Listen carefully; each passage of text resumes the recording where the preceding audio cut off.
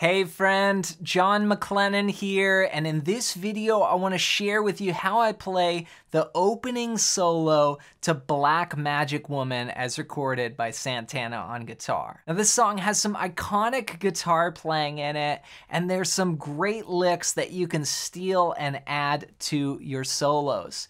So let's get straight into it. The song kicks off with just this little pull off here. It goes.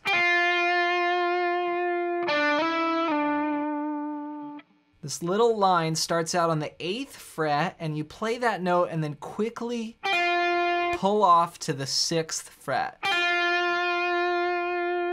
And then you play from seven on the third string, slide up to nine, and then come back down to seven. So those two licks together go.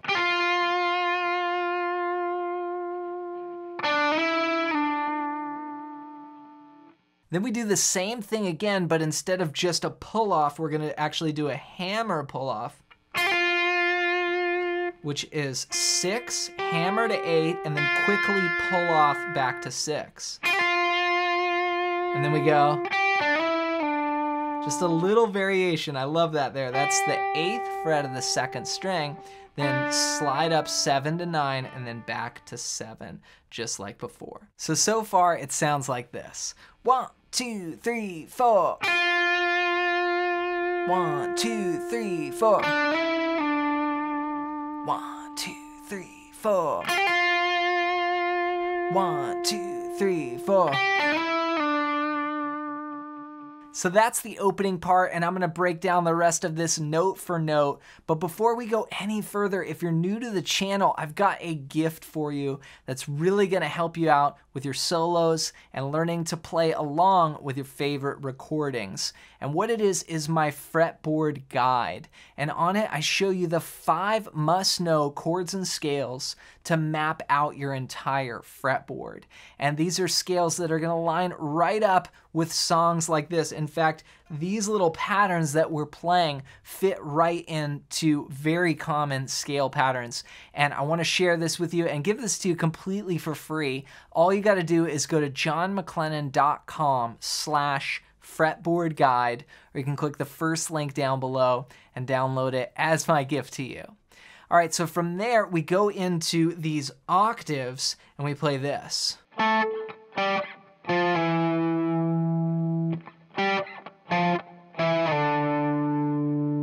Now here I'm using a technique called hybrid picking, where I combine the pick with also my middle finger plucking another note to get them to be plucked at the same time.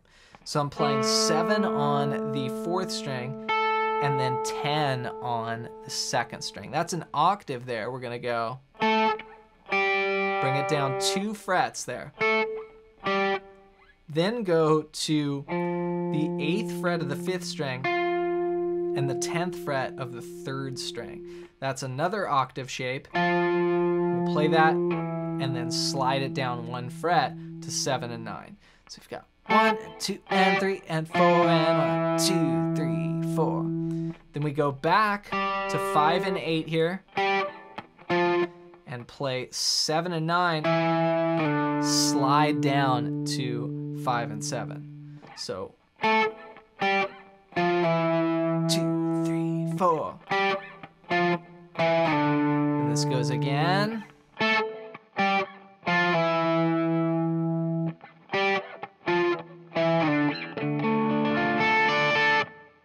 Then I move up to a D minor chord here.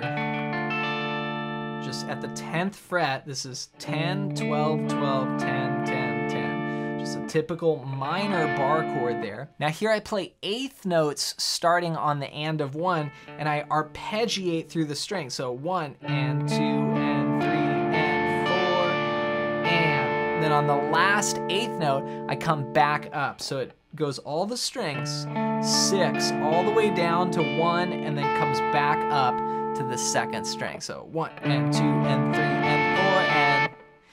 and then the band hits a break and we go into this classic riff.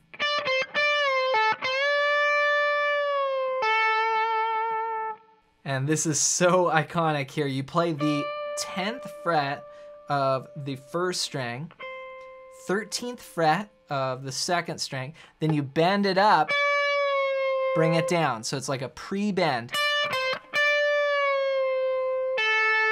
Pull off to 10, then go back up to 13 and bend it, hold it, and then fall off again, pulling off to the 10th fret. So there's a lot of bends and then falling off, pre-bends, lots of techniques in there. Together it sounds like this.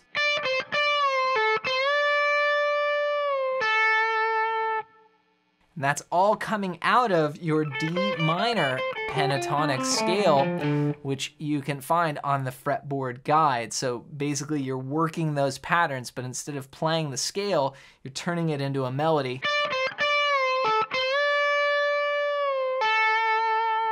Okay, then the next lick goes.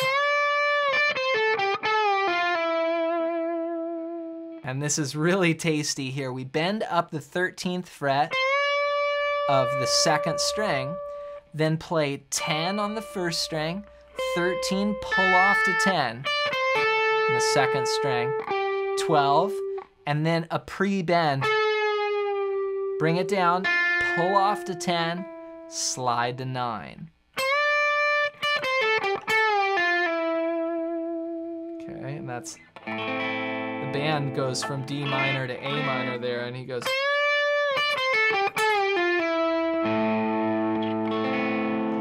matching the chord there. Then we go.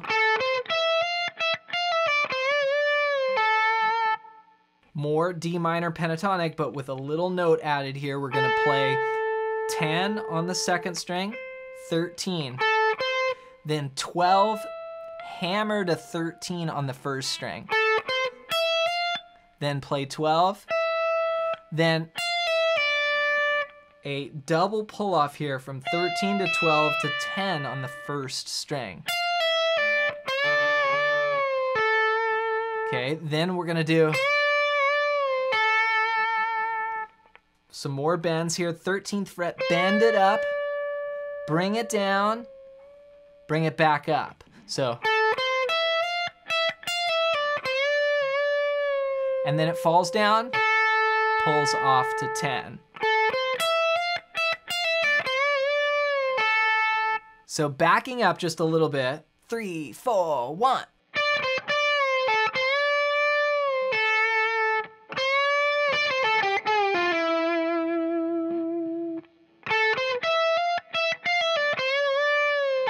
All right, from there we bend the 13th fret, second string, then play 10 on the first string, 13 pull off to 10, and then a bend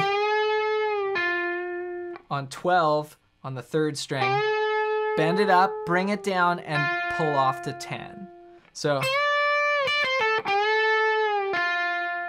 then we walk up. This is like a G minor here. This is 12 on the third string, 11 on the second string, 10 on the first string. Then you walk up 12, 13 on the first string, then pluck it again and bend. So, then go. This is a blues lick here, 15 bend on the first string. Bring it up, bring it back down, pull off to 13, 15 on the second string, back to 13 on the first string, like this. Then we go all the way up to the 17th fret, bend that up.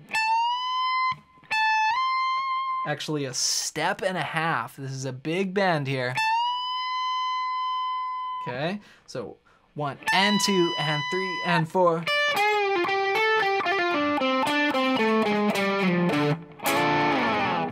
Then we've got this walk down. So we come off of that 17th fret, bending all the way up a step and a half, kind of fall off,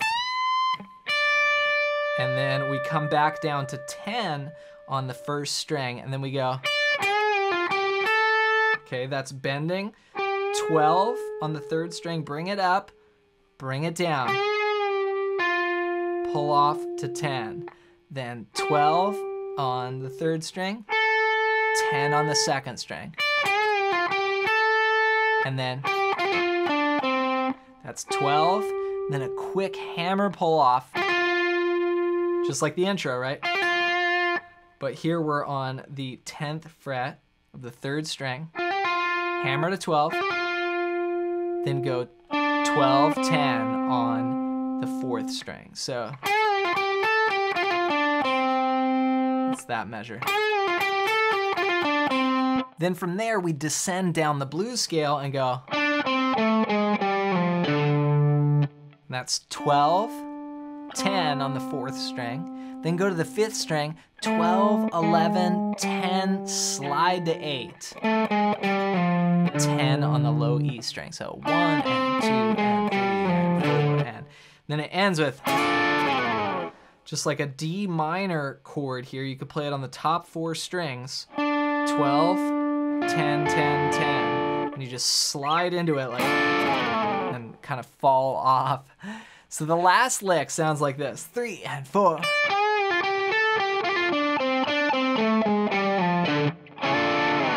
All right, next I'm gonna put all these licks together so you could hear what it sounds like in context from the top. Here we go. One, two, three, four.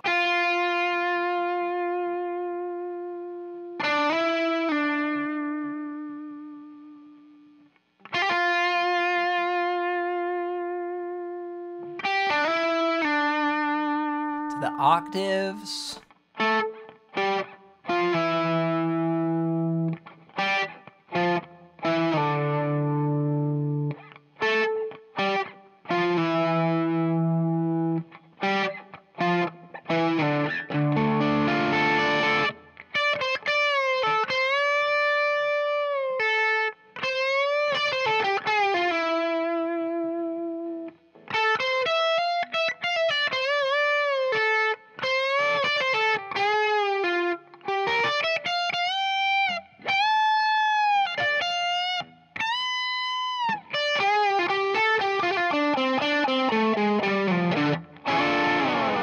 So steal some of those licks and add them to your soloing vocabulary. And to help you work this out anywhere on the neck and be able to jam along with your favorite recordings or play your own guitar solos like this, grab my free fretboard guide PDF.